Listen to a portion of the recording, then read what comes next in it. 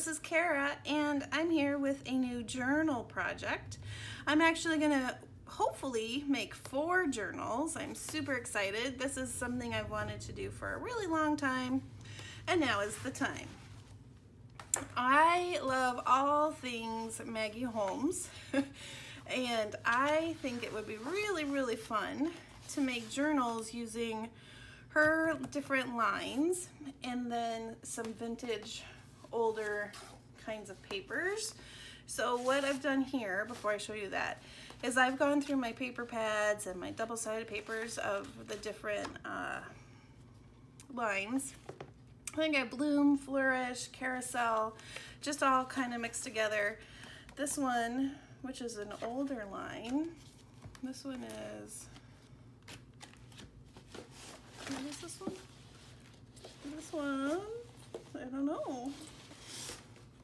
It's an older line. Anyway, and I've separated them out. I mean, all of her lines kind of mix and match well, but I kind of picked what I wanted to go together. and then I've pulled out some fun, a bunch, a bunch of papers. I'm sure I won't use all of these, but I have some music pages from a children's music book pages from Little Women. It's a larger page, so I thought that would be fun. Oh, look at what I'm gonna do, oh my gosh. I feel like a Maggie Holmes journal needs a little Edith Holden. So I ripped pages out of my Edith Holden book. I have two, so I feel like I'm okay. I was able to do it. But I actually ripped out some pages. Look at, I ripped out all these pages. I think I can, I think I can. Okay, so I have these out as well, and I want to put those in. And then I found, because, you know, Maggie Holmes is floral, so I pulled out some of these from a big floral book I have. And, oh, there's more of the kids' music, music. And then, I think I got these from Amore Fabriques. I think that, I think I Hmm, yeah, that's a good question. I don't totally remember. But these are covers to different, um, you know, music, music, what, sheets. wow. So anyway, I thought those would be kind of fun to toss in there. Some coffee dyed paper. And then I have just a hodgepodge. Oh, look, more Edith Holden. So this is Nature's Remedies that I printed out from Tracy Fox. And then these are from Amore Fabriques in a recent haul. Came in one of the journal packs, or the journal pack I bought. Some old papers. So I thought all of those would be super fun. so I think it's gonna be fun to do this. Um, I love the idea of the vintage with the fun and colorful pages. And I wanna make different size pages and uh, maybe the different pockets. And then I'm also trying to figure out how I wanna do like a shaker, a shaker page or a shaker thing within the, the books. So uh, yeah. and then let me show you the covers. um, I found four in my stash that I think will work. This one I think is awesome. I'm gonna definitely have to cut this part out and expand the, the, the for the spine. And I have this one. I think this one's gonna be pretty good. We'll see once I get all the pages. This one might have to be bigger, I'm not sure. And then I'm excited about this one. I was gonna do a fairy journal in the, with this cover, but I really like the size of this book and I think it'll be really a nice size for the Maggie Holmes. Plus this yellow is a great Maggie Holmes yellow. so see, I think that'll be fun. Okay, so for journals. It's gonna be a big project. um, and they're all different sizes, so I have to cut them all different, but I'm excited. And then I have because I'm a hoarder of Maggie Holmes. I have a bunch of embellishments and different things, so I'll be able to make all sorts of fun tags and tuck spots and ephemera to go in the journals. I'm excited. All right, so I hope you stick with me and let's, I'll come back after I've cut the pages and we'll see where we're at. Okay, hold on. All right, I've cut my papers and then I did a few more things. so I thought I should stop what I was doing and show you where I'm at. So I'm making four journals and I've cut down the papers. This one's gonna have a pocket. This one's gonna uh, hopefully have a little window where you can see the bird.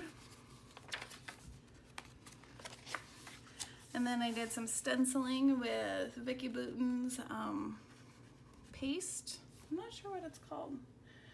Creative X. It's the gold glaze. Isn't that pretty? Shimmery. And then I made some pockets, shaker pockets. This one has vellum, and then this one has acetate. This would be fun to add like a picture. I might add some embellishments, but for the person who owns the journal, it'd be cute to put a little picture right there. So different size papers. There's the flip. More stenciling. Yeah, so that's that one. Oh, and then this one I have an envelope pocket that I made. And here's the other, no, where's the other side? There's the other side. And then I also put in some wallpaper that I found in my stash. So yeah, all right, so there's number one. And then number two is the fairy book. Same thing, cut up the paper. Here's an envelope, pocket, more of the stenciling.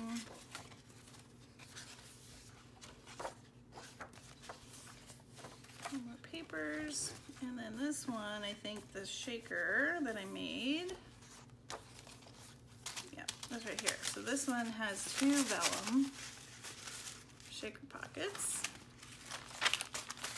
And I added some tickets to the side. So there's number two. number three is this one. Same thing, same papers, stenciling, wallpaper, and then an envelope. Where's the shaker?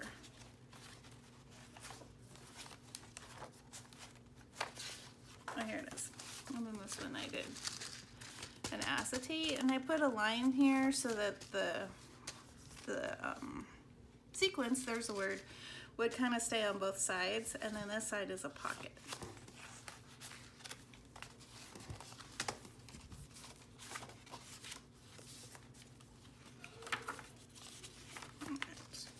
Not sure if that's where I had it. Things keep getting moved around and eventually they will have their final destination. All right, and then the last one, same thing, more of the stenciling. I just love how that turned out. And here's this shaker pocket. So this one has acetate, and then this one on the back side I did just a pocket that we can put stuff. Okay, so that's where I'm at. I think next, well, I'm not sure, but I might add some trims, uh, lace and different trims on the journals. We'll see, I'm not sure. Oh, and let me show you what else I made. With my new Elizabeth Craft dies, I made these super cute little envelopes and I added the ties and they just have little a little envelope. So those are gonna go somewhere throughout the journals. Probably make it a tuck spot. And then I also made these cute little clipboard looking embellishments, also from the dies. So those will end up in the journals. So I made those, and yeah. I think, like I said, I think I might do some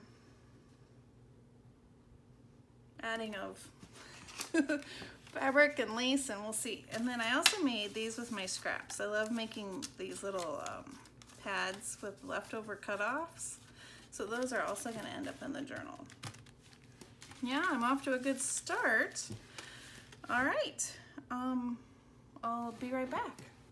All right, I'm back. Before I start sewing, I thought I want to add some flip outs to some of the pages with some of my cutoffs. So here is a cutoff and I thought it would be fun to make this a flip out. I'm just gonna get some washi tape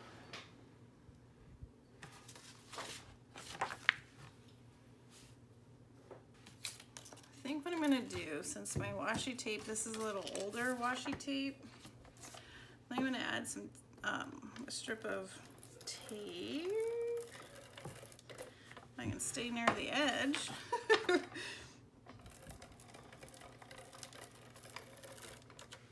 that.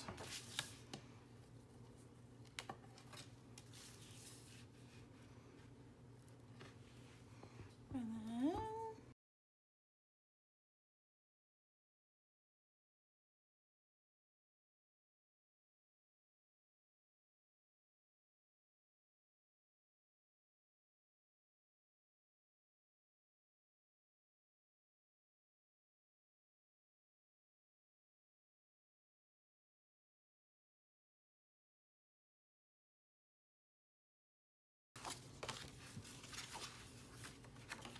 Yeah, all right, so there's one.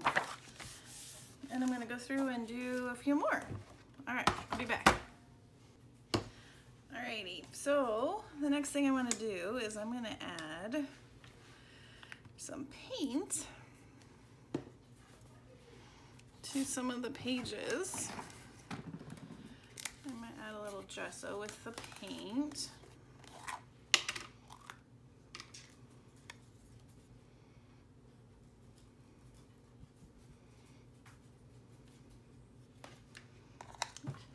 and this will just give just another just another layer just another fun page. Kind of mix it up a little bit.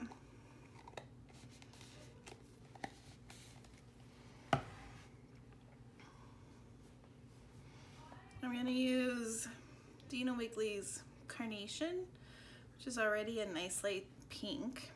And when I add the gesso will even be lighter.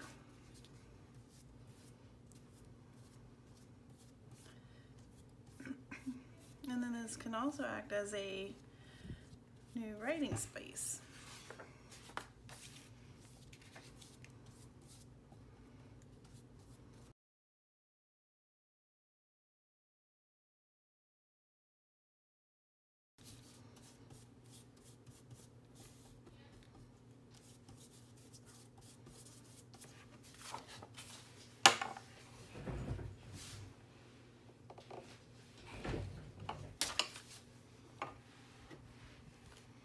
All right, so I'm gonna go do this through the other pages in the other books and I'll be right back.